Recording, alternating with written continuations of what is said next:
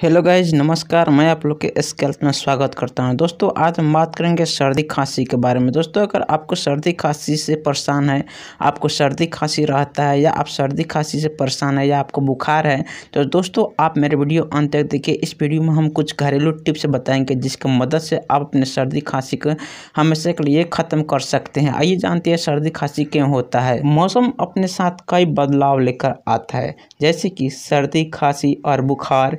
खासकर सर्दियों में खांसी जुकाम गले में खिंचकी शरीर के जोड़ों में दर्द, गले में दर्द, आँखों में दर्द जैसी कई परेशानियाँ होती है। इसके लिए कई दवाइयाँ ली जाती है, कई तरह के एंटीबायोटिक दवाइयाँ खाई जाती है, लेकिन आप इन सब परेशानियों को बिना दवाई को भी ठीक कर सकते हैं। आपके किचन और घर में मौजूद चीज़ों से भी सर्दी खांसी के इलाज हो सकते हैं। यहाँ जानेंगे पाँच घरेलू उपाय जिन्हें फॉलो कर कर आप बदलते मौसम में दुरुस्त रह सकते हैं। दोस्तों, अगर आप मेरे ये टिप्स जानना चाहते हैं तो मेरे वीडियो को लाइक कीजिए और मेरा चैनल को अभी तक सब्सक्राइब नहीं किए तो ज़रूर सब्सक्राइब करें, क्योंकि इस पर घरेलू टिप्स दिया जाता है। आइए जानते हैं वो कौन से टिप्स है जिसकी मदद से आप अपने सर्दी खांसी को छू मंत्र तरह भगा सकते हैं। Tips number one soup.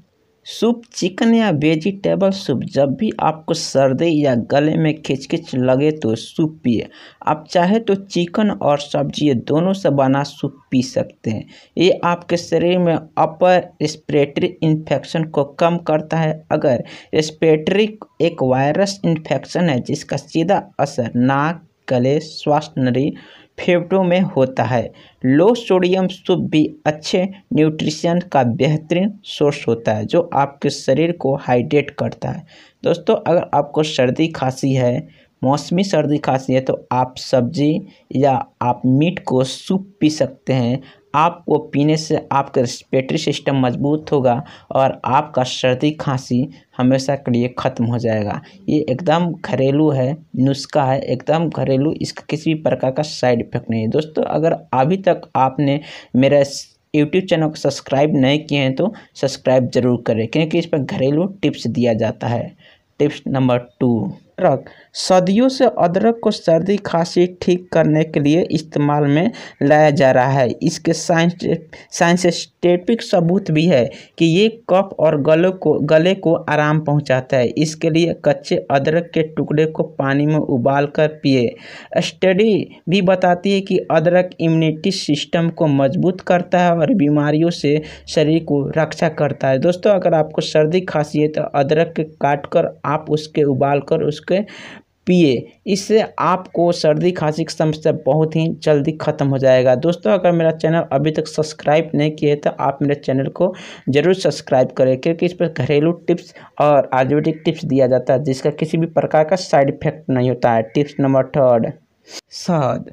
शहद में एंटी बैक्टीरियल और एंटी माइक्रोबाइल प्रॉपर्टीज़ होता है। रोज़ाना शहद और नींबू के पानी से गले के दर्द में आराम मिलता है। शहद खांसी दूर करने में काफ़ी सहायक होता है। लेकिन एक साल से छोटे बच्चे को कभी भी शहद नहीं देना चाहिए, क्योंकि कई बार शहद में बेटुलिनम जीवाणु मौजूद होते हैं, जो बच्चे के लिए नुकसानदायक होता है। ये जीवाणु शहद को गर्म करने से भी नहीं मरते। दोस्तों, अगर आपको सर्दी खांसी है तो शहद और नींबू के आप सेवन करें। आपको सर्दी खांसी एकदम ही ख़त्म हो जाएँगे, गायब हो जाएँगे।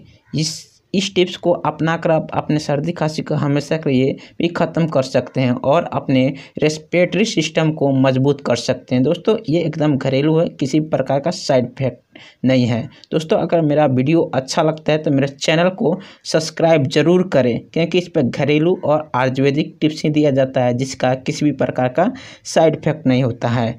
Tips number fourth steam seasonal virus की वजह से नाक और गले में खुजली को भाप ठीक कर देती है। ये सर्दी को भी जल्दी ठीक कर देती है, लेकिन स्टीम लेते वक्त ध्यान रखें कि ज़्यादा गर्म पानी से भाप ना ले। इससे आप जल सकते हैं। आप चाहे तो हॉट शावर भी ले सकते हैं। दोस्तों, अगर आपको सर्दी खांसी है तो आप स्टीम ले सकते हैं, पानी को भाप ले सकते हैं, जिससे आपको सर्दी खांसी में बहुत ही आराम मिलेगी। ये बहुत ही जल्दी आराम देता है।